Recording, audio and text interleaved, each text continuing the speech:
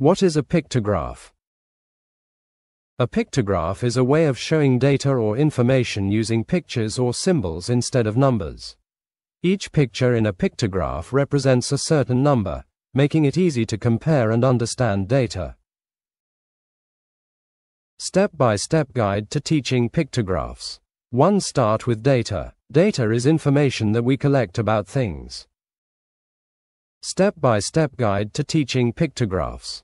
2. Introduce the pictograph. Explain that a pictograph uses pictures to show data. Each picture in the pictograph stands for a specific number, e.g., one picture equals two people, equals. Step-by-step guide to teaching pictographs. Three parts of a pictograph. Explains what the pictograph is about, e.g., favorite ice cream flavors. Represent the data, e.g., ice cream cones for each flavor. Step-by-step guide to teaching pictographs. 4 simple example of a pictograph.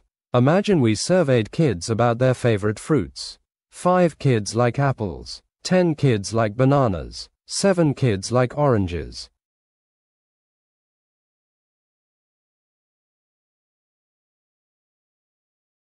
Step-by-step guide to teaching pictographs.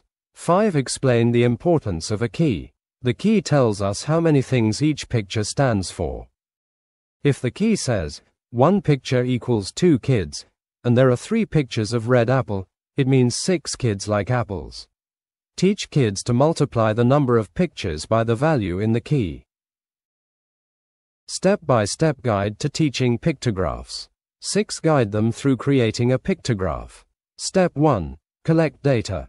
Example What is your favorite school activity? Sports, art, music, or reading. Step by step guide to teaching pictographs. 6. Guide them through creating a pictograph. Step 2. Count the responses for each activity. Step 3. Choose a symbol for each activity, e.g., soccer ball for sports, paint palette for art. Step 4. Draw a pictograph on the board with a title, key, and symbols. Step-by-step guide to teaching pictographs. 7. Make it fun with real-life examples. Example 1. Number of sunny, rainy, and cloudy days in a week. Example 2. Favorite animals in the class. Use animal emojis. Step-by-step guide to teaching pictographs. 8. Teach them to interpret pictographs. Compare categories. Which fruit is the most popular? Step-by-step guide to teaching pictographs. 8. Teach them to interpret pictographs. Count the total. Add up all the pictures to find the total number of responses.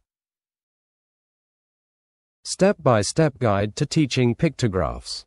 8. Teach them to interpret pictographs. Solve problems. Ask questions like, how many more kids like bananas than apples?